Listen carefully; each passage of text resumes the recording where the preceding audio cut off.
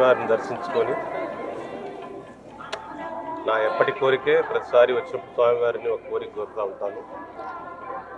ఒట్టిమిట్ట రామాలయంలో ఆ రామాలయం కట్టినటువంటి జాంబవతుడికి కూడా ఒక గుడి ఒక విగ్రహం కట్టాలని టీటీ ఆధ్వర్యంలో ఆ సార్ దేవాలయం ఉంది కాబట్టి వారే దాన్ని నిర్మించాలని చెప్పి దాని వాళ్ళు ప్రోత్సహించే విధంగా వాళ్ళని డైరెక్షన్ ఇవ్వమని స్వామివారికి కోరటం ఆది జాంబవుడు చాలా గొప్ప వ్యక్తి. రాముడికి సేవలు అందించినటువంటి వ్యక్తి.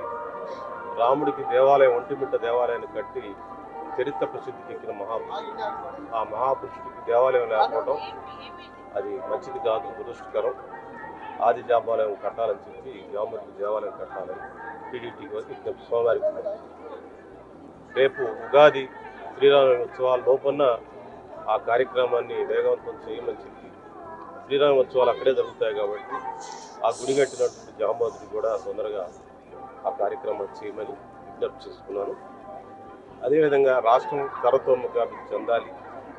జగన్మోహన్ రెడ్డి గారి నాయకత్వంలో అనేక సంక్షేమ అభివృద్ధి కార్యక్రమాలు జరుగుతూ ఉన్నాయి. అవి మళ్ళీ ఆయన నాయకత్వంలో మరింత వేగవంతంగా జరిగే విధంగా వచ్చే ఎన్నికల్లో ఆయన్ని ఆయన ప్రభుత్వాన్ని ఆశీర్వదించమని చెప్పి కూడా స్వామివారిని కోరటం జరిగింది. ఆ కార్యక్రమం దేశంలో ఒక అద్భుతమైన పాలన గ్రామ సుపరిపాలన గ్రామ సచివాలయ వ్యవస్థ లాంటి ఒక అద్భుతమైన వినూత్నమైన కార్యక్రమాలు తీసుకొచ్చినటువంటి వ్యక్తి జగన్మోహన్ రెడ్డి గారు. అదేవిధంగా రైతు భరోసా కేంద్రాలు అనేక సంక్షేమ కార్యక్రమాలు.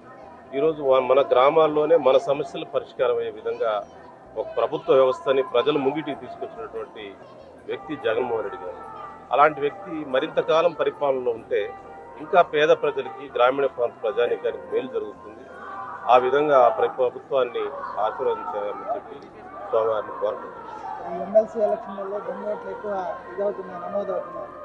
ఇవన్నీ ప్రతిపక్షాలు చేసే సహజంగా ప్రతి ఎన్నికల్లో ప్రతిపక్షాలు ఓటమిని స్వీకరించలేక అలాంటి మాటలు మాట్లాడతారు. ఎన్నికల నిర్వహణ ఎన్నికల కమిషన్ ఆధ్వర్యం జరుగుతుంది. వాళ్ళు టైం టు టైం ఇన్స్ట్రక్షన్ ఇస్తారు టైం టు టైం చర్యలు తీసుకుంటారు.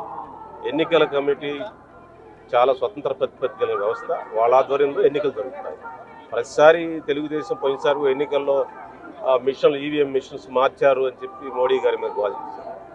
ఇట్లనే ఇప్పుడేమో ఎన్నికలు దొంగ ఓట్లు అంటున్నారు. ప్రతిసారి వాళ్ళు ఓటమిని అంగీకరించలేక అలాంటి విషయాలు ప్రచారం చేస్తూ ఉంటారు